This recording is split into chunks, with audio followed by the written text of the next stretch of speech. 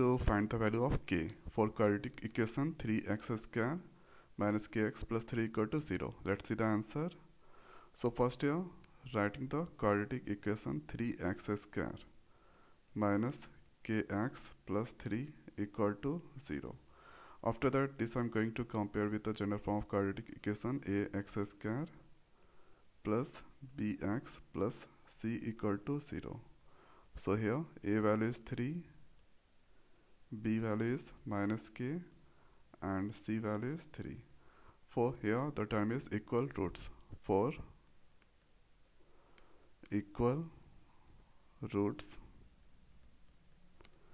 discriminant equal to 0 so d is now b square minus 4ac equal to 0 so b square minus k square minus 4 into a into c value is 3 equal to 0 so minus k square that is equal to k square. This multiply 4 into 3 12 12 into 3 36 so this here 36 equal to 0 or we can write k square this move on the right.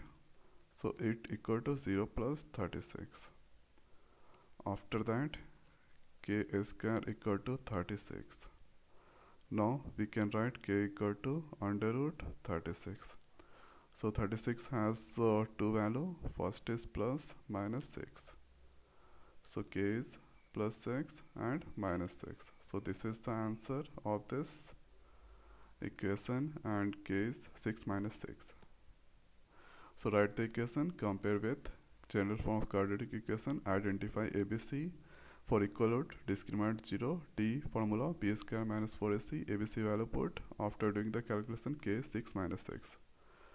So this is the way we can find the value of k. So now this video is over. So thanks for watching. See next week. Thank you.